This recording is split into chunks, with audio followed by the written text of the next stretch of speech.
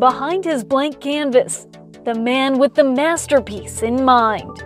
As a person of color, I have a responsibility to all of my other people of color to make the best example possible in front of everyone. So, in front of all of Janesville, artist Jeff Enriquez left his mark on Main Street. I had to draw versions of him the way he might look.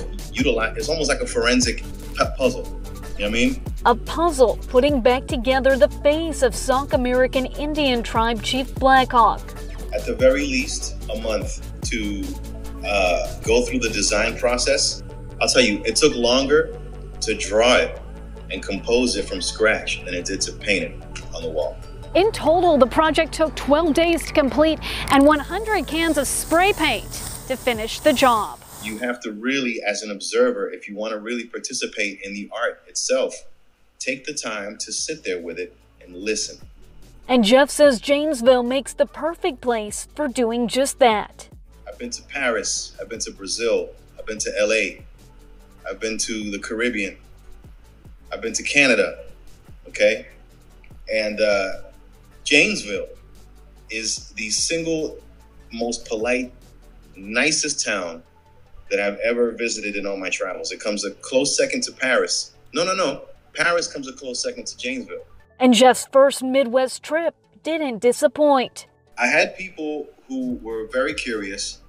Uh, I had people who uh, were just plain friendly and constantly bringing food. People brought me food, food like like a dinner in a bag with like all the trim trimmings. Making those 10 to 12 hour days painting the historic Native American war hero of southern Wisconsin a true pleasure. If I can bring some kind of happiness or some kind of shine to someone's daily life because of my artwork, then I've succeeded. And so even while I was on the lift and I'm like 30 feet up painting and all the cars are driving by and they're beeping and they're waving, that's that's an indicator of what the effect on the community is. Proud, this artist's larger than life vision came to life.